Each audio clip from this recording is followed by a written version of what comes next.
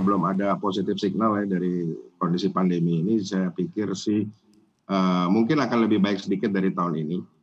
Ya karena kan uh, market juga menunggu-nunggu ya. IPO ini kan biasanya trigger ya, satu-satu katalis yang bisa uh, meningkatkan aktivitas di pasar modal.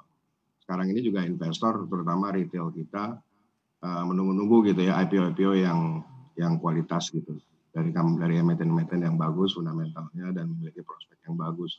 Kalau kita lihat kan nggak semua juga dalam kondisi pandemi ini semua sektor industri kita uh, terdampak secara negatif. Contohnya sekarang uh, yang banyak apa namanya diminati oleh investor itu sektor farmasi dan juga alat kesehatan atau dalam apa secara keseluruhan disebut healthcare gitu ya.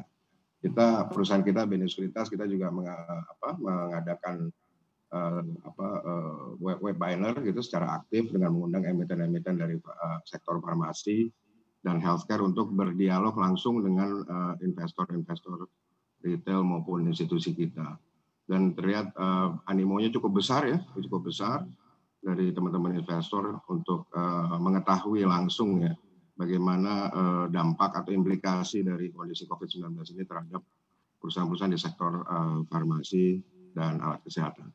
Dan ternyata Baik. positif sekali. Dan apalagi yang uh, untuk apa emiten-emiten farmasi BUMN kan kita tahu nanti akan mendapatkan tugasan dari pemerintah langsung untuk uh, pengadaan vaksinasi ke seluruh masyarakat. Dan tentunya ini akan membawa uh, implikasi positif ke bisnis mereka dan juga di kondisi keuangan mereka ke depan. Kuncinya berarti nanti ada di keefektifan vaksin, distribusi, serta produksinya Pak Reza, yaitu menjadi kunci utama nanti. Mari kita bicarakan bisnis dari BNI Sekuritas juga, seberapa jauh pandemi dan juga awal PSBB dulu hingga sekarang sudah berpengaruh ke industri dan bisnis sekuritas secara umum. Dan bagaimanakah posisi dari BNI Sekuritas? Ya, Erwin, um, memang uh, quite tough ya, uh, quite tough saat ini. Uh, kalau sekuritas ini kan apa main activity bisnisnya kan di brokerage sama di investment banking ya di underwriting. Kebetulan saya sendiri in charge untuk investment banking. Kalau dari sisi investment banking, uh, activity untuk tadi uh, new issuers atau IPO ya, untuk equity terus terang hampir nggak ada ya, hampir zero lah untuk tahun ini. Tapi untuk fixed income kita cukup baik walaupun mengalami penurunan dibanding tahun lalu.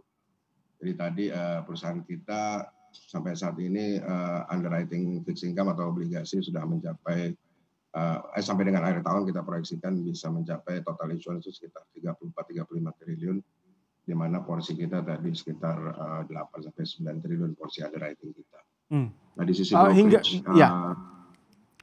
Dari target yang disebutkan Pak Reza hingga akhir 2020 ya untuk update bagi kami, adakah revisi-revisi target Pak untuk underwriting baik itu IPO saham maupun obligasi untuk akhir 2020 atau semuanya masih on track dari besaran angka yang Anda sebutkan tadi?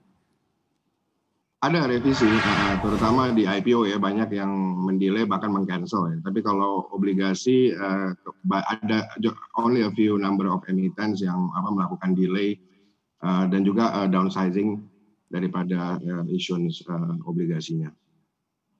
Nah kita di uh, cukup aktif ya sekarang ini kita kalau berdasarkan rating Bloomberg kita di peringkat tiga untuk underwriting obligasi. Jadi ya uh, tetap jalan ya karena tapi ya tadi uh, mungkin sebagian besar memang untuk uh, kepentingan refinancing dibanding dengan utang baru untuk penanganan uh, belanja modal dari perusahaan-perusahaan untuk ekspansi. Jadi ya semuanya masih pada ngerem sih Erwin.